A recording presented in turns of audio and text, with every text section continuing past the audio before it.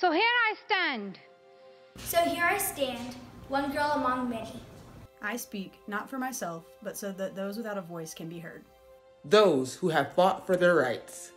Their right to live in peace. The right to be treated with dignity. Their right for equality of opportunity. Their right to be educated. Nothing changed in my life except this. Weakness, fear, and helplessness died. Strength and power. And courage was born. Dear sisters and brothers, I am not against anyone. This is what my soul is telling me. Be peaceful, love everyone. I'm focusing on women's rights and girls' education. Because they are suffering the most. There was a time when women social activists asked men to stand up for their rights. But this time, we will do it by ourselves.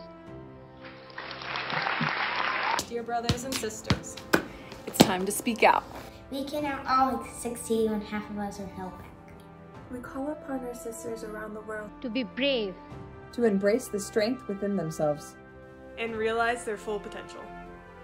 No one can stop us. We will speak up for our rights, and we will bring change through our voice.